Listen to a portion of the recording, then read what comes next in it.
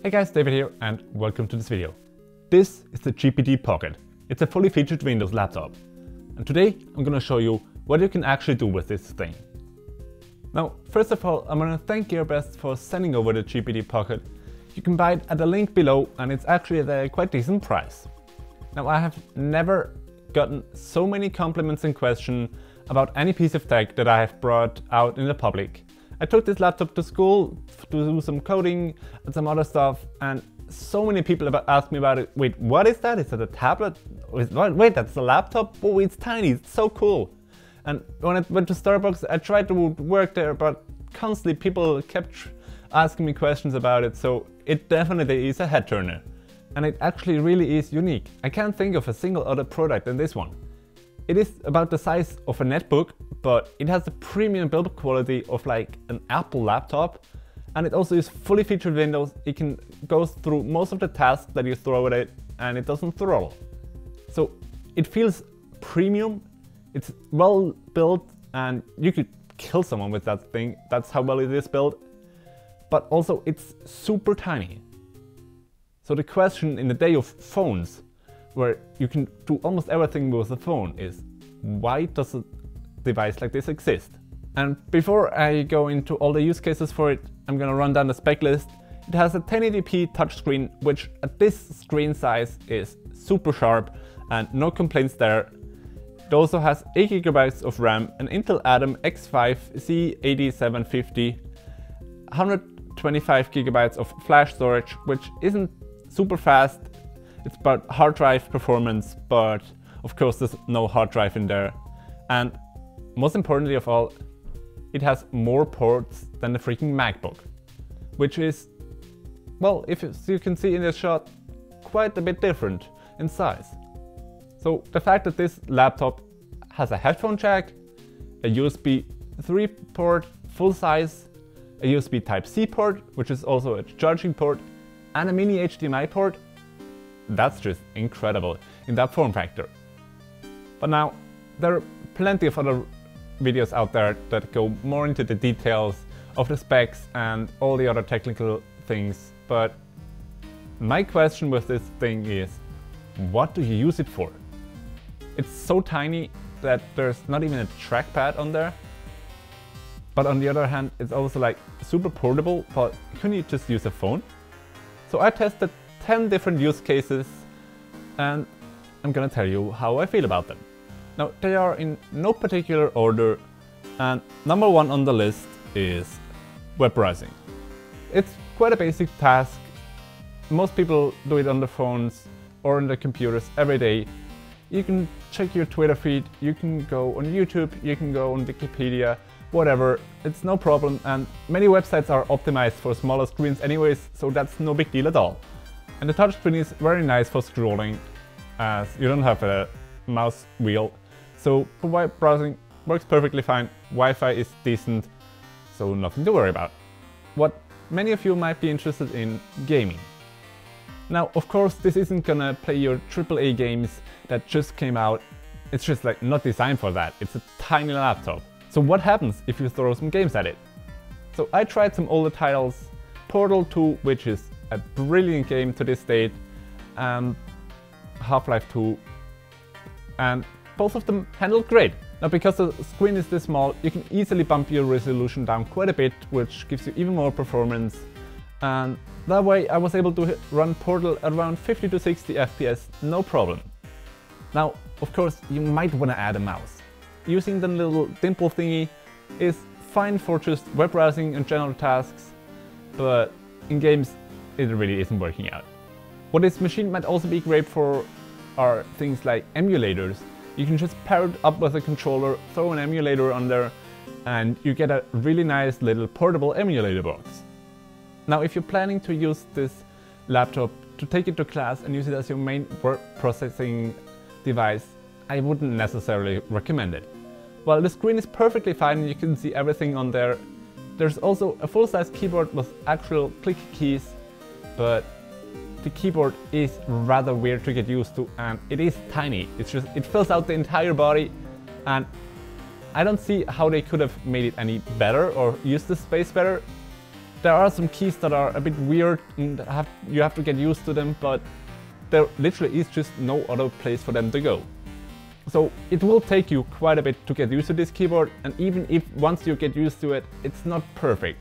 I had some keys that didn't register quite as easily as the others, so I rather a light typer because I use mechanical keyboards where I don't have to press all the way through. So it caused me to miss the A and the E key quite often, but once you get used to it and press a bit harder, this works well. So just writing an email up in a pinch is perfectly fine, but writing a whole essay on it, I might want to get like an external keyboard for that. And speaking of emails, that's perfect for that, but you can also just check your emails on your phone. But if you want something a bit bigger than your phone, this machine is great for emails, because most of the time you don't have to write long texts or anything, and so this is great. Media consumption like YouTube or Netflix also works perfectly. Now of course the screen is very limited in size, but well, you want a tiny laptop, so the screen is going to be limited. But with the keyboard it also includes kind of a hinge, so instead of just being your phone which you have to balance somewhere, you have an integrated stand and it's a little bit bigger than the phones, not much though. And the speakers are okay, but they aren't the greatest. They are underneath the keyboard, so the sound is coming out of the keyboard. So for an occasional YouTube video, it's okay, but if you watch more, you maybe want to plug in some headphones.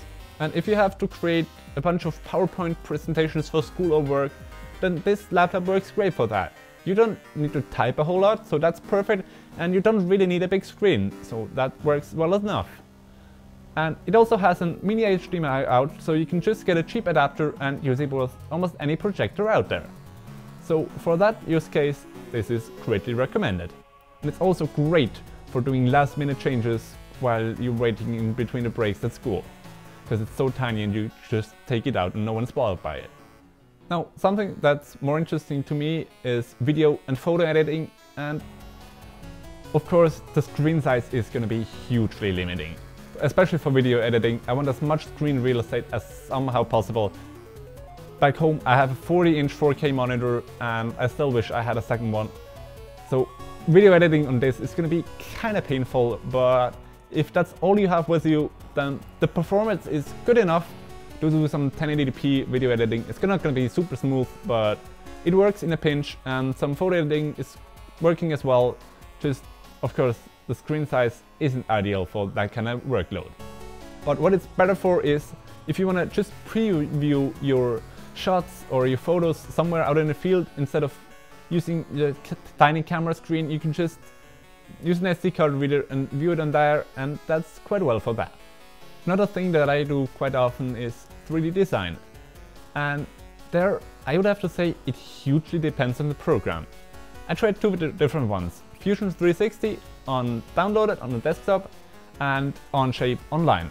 Now, in Fusion, my experience was that you can use the touch input for moving your model around, which is great as that feels super responsive.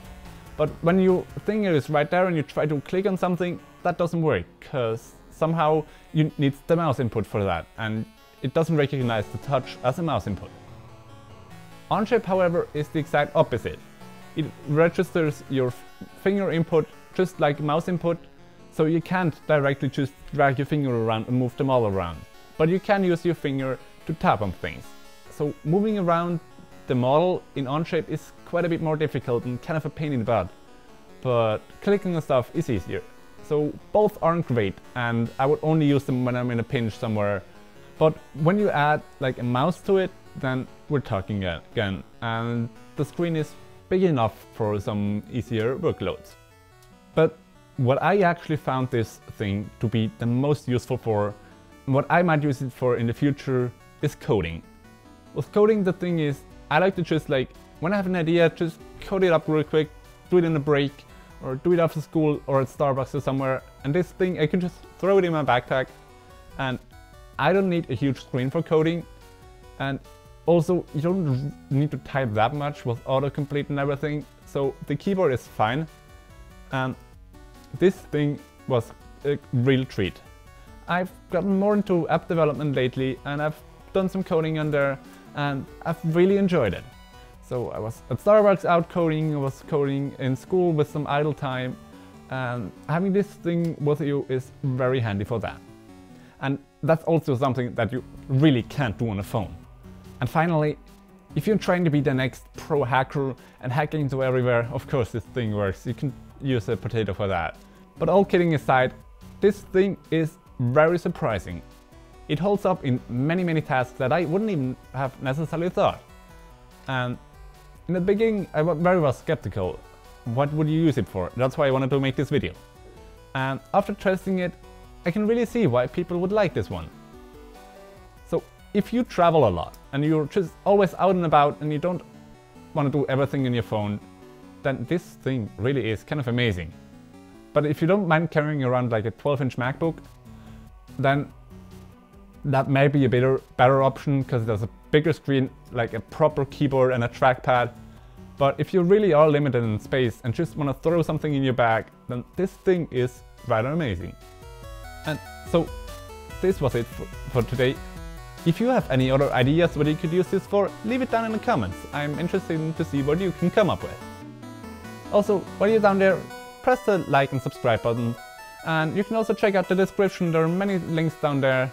There are affiliate links that you can use when you buy stuff online that help me out a lot.